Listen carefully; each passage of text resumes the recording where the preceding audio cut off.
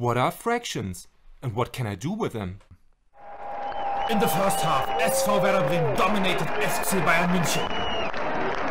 Kids, we have to fill up our car. The tank is down to one quarter. Sebastian Vettel improved his lap time by another two tenths of a second. Today we want to dance the waltz, which is in 3-4 time.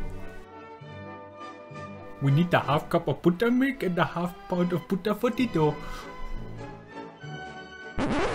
Okay, okay, wait a sec. What the heck does this have to do with fractures? Oh, honey, it's fractions, not fractures. What on earth are fractions? Never heard of it. Sounds complicated. And what do I even need them for? Actually, it's quite easy. Let me show you. You have probably seen a number like this before. On the gauge of your parents' car, on a measuring cup, or somewhere entirely different. If you haven't, it doesn't matter. Now you've seen one. This number is called a fraction, and this specific one is called a quarter. Strictly speaking, a fraction isn't just one number, but two separated by a line. The number above the line is called the numerator, the one below is called the denominator, and the line is called fraction bar. Ah, uh, okay, that's interesting. But what can I do with a fraction? And what are the numerator and the denominator for? First of all, the numerator tells us into how many equally big pieces an entity is divided. In our example, this yummy pizza is split up into four slices. By looking at the numerator, we can see how many of the quarters we are looking at. In this example, our numerator is 1, which is why we are looking at one of our four slices of pizza one fourth of a pizza. If we had three quarters, then we could eat three pieces of pizza. Alrighty, that's simple.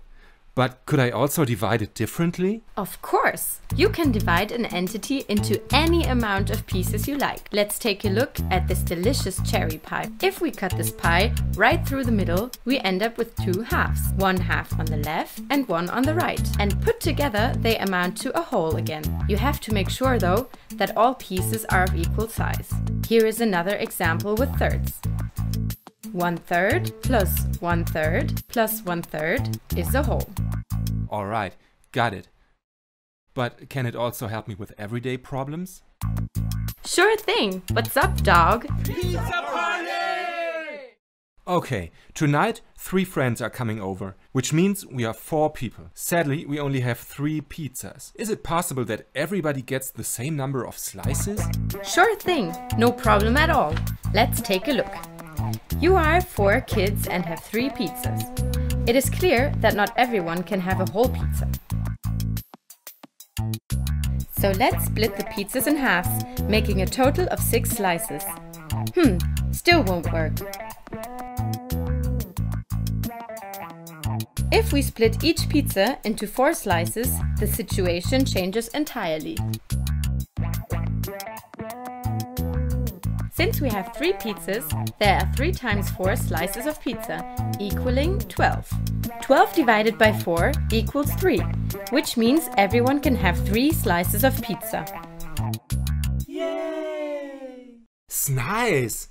You showed me that fractions are really useful. True that. And it ain't that complicated, is it?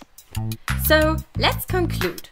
The numerator shows into how many equally big pieces an entity can be divided. The denominator simply shows how many of these pieces we are looking at. Thanks, man. You have really helped me to understand fractions.